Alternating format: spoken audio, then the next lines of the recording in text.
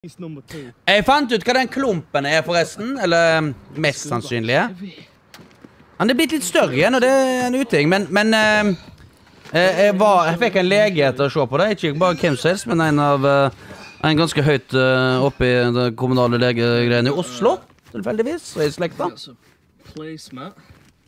Og Det er ålreit å være lege. Det er én ting som er litt slitsomt med det. Det er at folk kommer bort til deg i sosiale settinger og stiller spørsmål om helsa si. Og du ser de folka på lang avstand. Hvis du kommer inn på et på en fest, eller sånn, så er det alltid en eller annen som er sånn Veldig oppmerksom på at du er der. Og den personen kommer til å møte i løpet av kvelden hvor de kommer bort og sier sånn Du er sikkert lei av at eh, folk kommer bort og Men er det greit at eh, så sier vi det går helt fint. Og så stiller de et eller annet spørsmål om en vond finger eller et utslett eller en eller annen unge som de disponerer. Og vi er litt lei. Vi er litt lei. Vi har ikke lyst til å jobbe når vi ikke er på jobb. ikke sant? Så sier folk som ja, men du kan jo svare litt på et spørsmål. Jeg kjenner en som er pilot, så sier du ikke gidder du fly meg litt til Ayia Napa.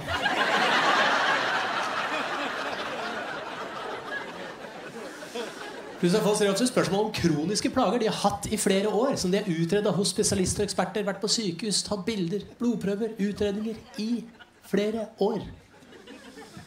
Så sitter vi der i et eller annet selskap, da. Og de legger ut om sykehushistorien sin og bare sånn der Ja, ja, du har vært på, hos spesialister mine. ja.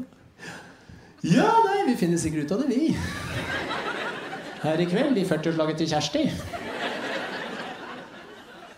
Så et lite tips til legene i salen når dere får sånne spørsmål i sånne selskaper, så pleier jeg å svare Det er sikkert psykisk. Og da gir det seg, gitt. Et lite tips til dere andre. Det er ikke sikkert det er lurt å stille de spørsmålene til oss når dere er på fest, og vi også er på fest. For det finnes noe som heter festempati. Som er en annen form for empati. Vanlig empati er jo sånn her. Jeg ser du har det vondt. Det plager meg at du har det vondt. La meg lindre dine plager. Det er den vanlige empatimodellen. ikke sant? Festempati den er litt annerledes. Den er sånn her. Jeg ser du har det vondt. Det er gøy å være på fest. Ja, det er sikkert ikke så farlig. Og hun mente at det var noe etter forkjølelse, siden han er løs, liksom. Så det er de litt andre utslagene. En gang så var et bursdagsselskap. Det var en jente som vrikka ankelen på dansegulvet. Så ble jeg tilkalt for å undersøke den ankelen. Og en av testene jeg utførte, indikerte at det kanskje var et brudd i den ankelen. Men historien hun fortalte om det her, hvordan det her hadde skjedd, hørtes ikke dramatisk nok ut og med stor nok kraft og sånne ting til at det skulle være et brudd.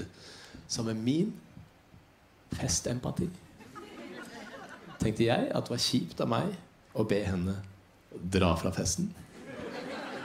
For å dra på legevakta og ventet der i flere timer på å ta et røntgenbilde. Og jeg trodde oppriktig talt at hun gråt så fælt fordi hun var redd for å dra fra festen.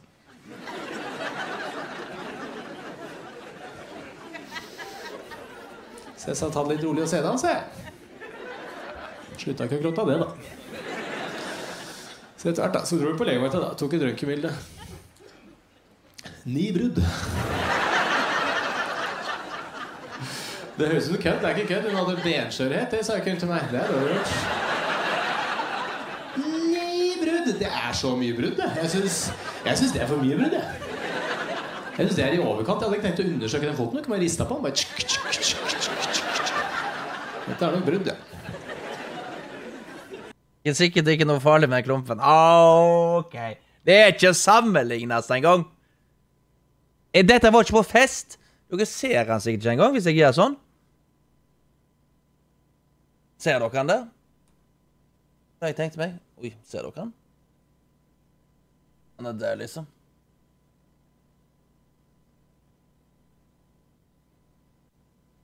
Noe fettbull. Ja. Det er ikke så alvorlig. Å, den var stor.